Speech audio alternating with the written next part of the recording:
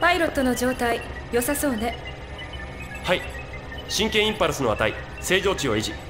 問題なさそうです。聞こえるかしら？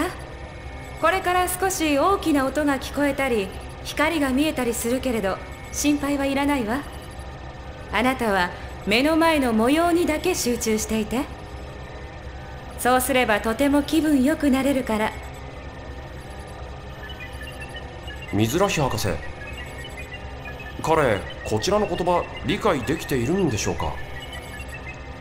さあ。でも何も言わないよりも言った方が効果的だとは思わない？ロストエルサレム時代に流行った大教みたいなものですか？意味は理解できなくてもなんとなく行為者のニュアンスや意思が伝わるといった。ただの気休めよ私たちにとってのね。